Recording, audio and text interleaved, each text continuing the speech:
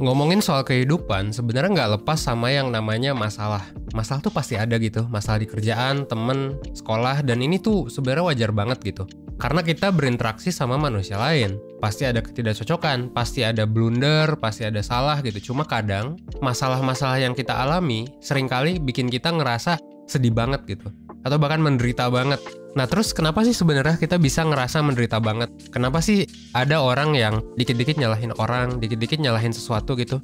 Meskipun sebenarnya kalau secara objektif, kalau kita lihat dari pandangan orang, atau mungkin kalau kita bandingin sama keadaan masa lalu, hidup kita tuh fine-fine aja, bahkan lebih baik daripada dulu. Nah, buat lo yang kayak ngerasa kayak gini, atau lo yang punya temen kayak gini misalnya, lo ada di video yang tepat. Kenapa? Karena di satu video sebelum tidur kali ini gue bakal ngebahas soal penyebab Kenapa sih kita ngerasa menderita? Dan kenapa kita sering nyalahin orang? Lo tonton video ini sampai habis supaya lo bisa dapet keseluruhan insight-nya.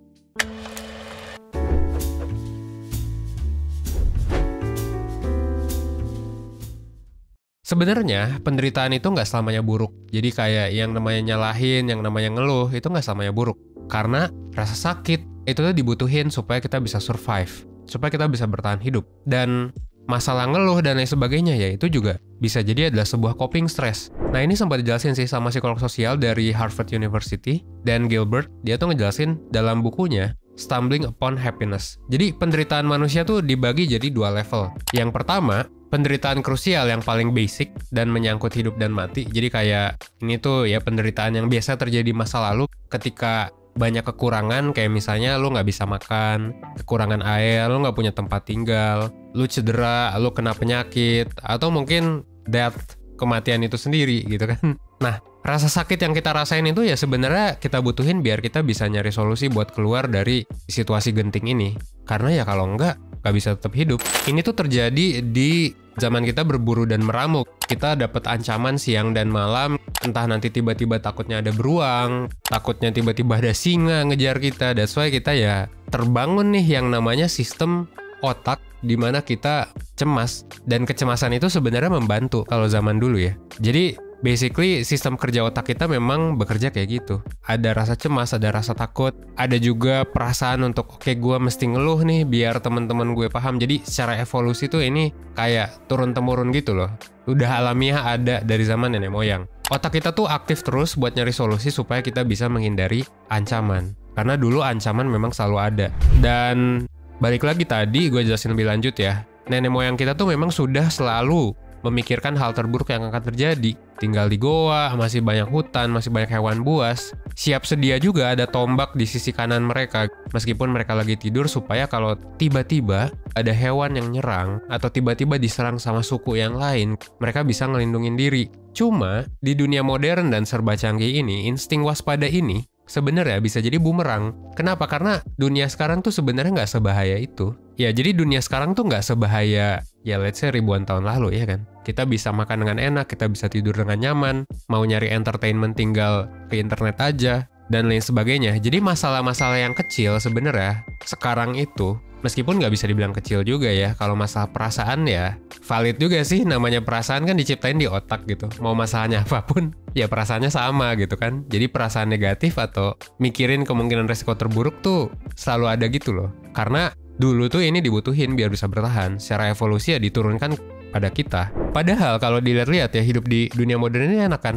Makanan gak terlalu sulit, kita nggak harus tinggal di goa, akses informasi gampang banget didapat. Cuma yang jadi masalah adalah gini. Jadi kita itu sekarang ada di zaman di mana kita itu nggak bisa adaptasi dengan semua hal yang kebanyakan. Jadi bagusnya adalah memang semua hal jadi banyak. Abundance. Kayak misalnya sekarang makanan tuh tersedia banyak. Bahkan gak jarang banyak dari kita yang makannya kebanyakan. Ya kan? Di US tuh 70% orang tuh overweight atau obese. Jadi kayak 3 dari 5 atau 4 dari 5 berarti ya, hampir 4 dari 5 orang itu gemuk cuy.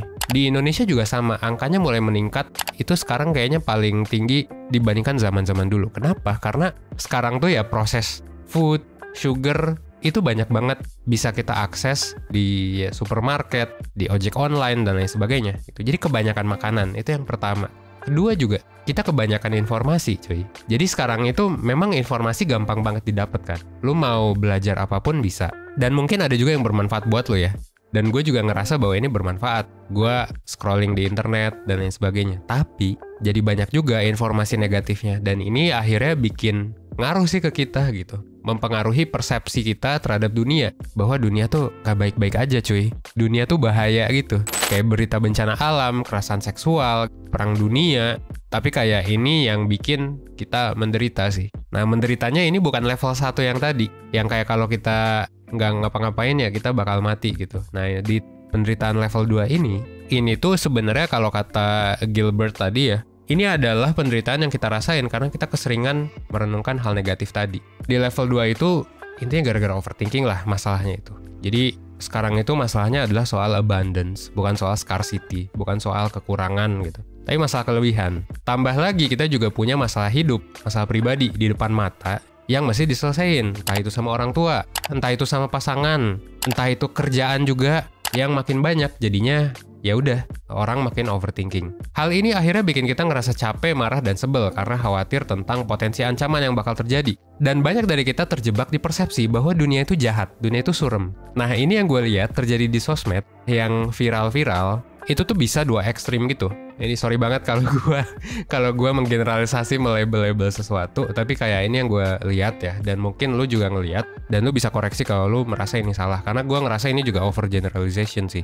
Pertama lu bisa jadi SJW orang kiri yang nyebelin gitu dan gak ngerti gitu perspektif pebisnis misalnya gak ngerti perspektif dari pemerintah gak ngerti perspektif kenapa orang mau investasi dan sukses jadi kayak biasanya orang kiri ini segala hal diprotesin gitu. Misalnya lu ngomong sesuatu lu nggak bisa dong ngomong gitu gitu ya. Itu tuh di label gitu kan nanti. Yang pertama lu bisa jadi SJW yang ekstrim banget sampai nggak ada progres yang bener gitu. Semua progres tuh salah gitu sih. Jadi memang ada berbagai macam aliran social justice gitu sih. Gue lupa teorinya apa tapi yang jelas ada yang gitu yang nggak percaya teknologi samsek yang nggak percaya sama progres sama sekali. Ada juga yang memang feminisme feminisme pun ada banyak lagi. Dan gue nggak nyalahin atau nggak kontra dengan semua itu ya. Karena ada juga kok yang misalnya orang yang suka nyalah-nyalahin pemerintah misalnya. Tapi make sense. Tapi nggak semua disalahin juga. Itu ekstrim satu. Ekstrim kedua lu di kanan gitu ya. Ini juga sering terjadi pada pebisnis-pebisnis nih.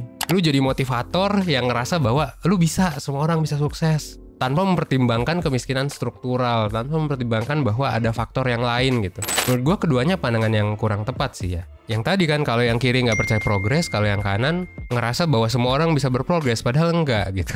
Perlu intervensi kadang-kadang ya. Lu jadi ekstrim juga menganggap bahwa kapitalisme, bisnis, duit bisa nyelesain semua masalah, padahal nggak juga. Nah jadi kurang lebih kayak gitu ya. Sekarang tuh jadi terpolarisasi gitu loh. Nah terus solusinya gimana? Ya polarisasi tuh jangan ekstrim gitu ya itu solusi yang pertama. Yang kedua ngomongin lagi soal overthinking gak ada salahnya sih sebenarnya mikirin bahwa dunia itu akan terjadi hal buruk atau hal terburuk yang akan terjadi kayak gimana which itu sebenarnya ada di praktek stoicism.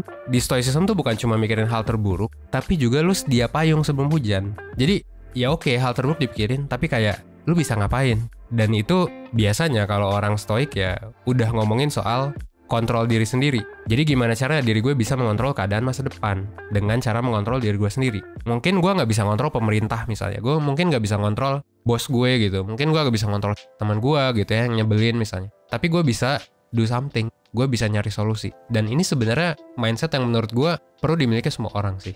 Ada juga saran praktisnya sebenarnya. Lo bisa pakai metode yang disaranin sama salah satu psikolog Belanda. Namanya adalah metode worry box atau scheduling your worry time. Alias kalau overthinking nggak apa-apa, tapi jangan berlarut-larut gitu. Di waktu, oke gue mau overthinking sampai segimana nih, nggak masalah. Dan kalau misalnya lo pengen tahu sih seberapa overthinking lo, kita juga udah ada sih tes tingkat overthinking ya supaya tahu ini sebenarnya udah melewati batas gak sih. Tapi lo juga bisa lihat batas yang lo tetapkan aja sih gue tuh kelewat batas tuh ketika apa? Misalnya ketika lu udah marah-marah ke orang, misalnya ketika lu udah salty gitu ke orang, nah mungkin mungkin itu batasannya.